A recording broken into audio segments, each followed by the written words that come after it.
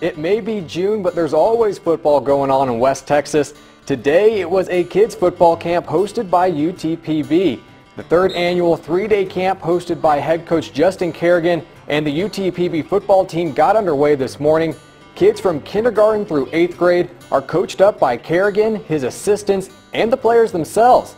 But this year's camp is a little different than ones in the past. Thanks to the camp sponsor Cinergy Cinemas, it was free for all 212 kids that signed up.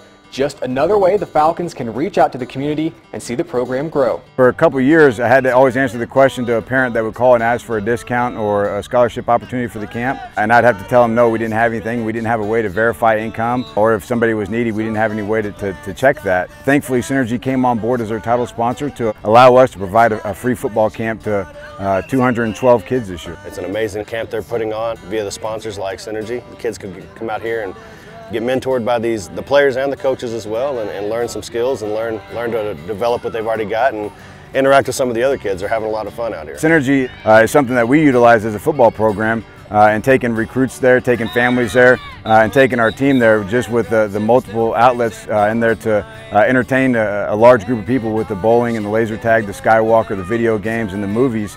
Uh, and obviously there's plenty of food to eat. Uh, it, has been a huge hit for us here locally in Odessa. I mean, it's something that, as a parent, that we enjoy taking our kids to as well.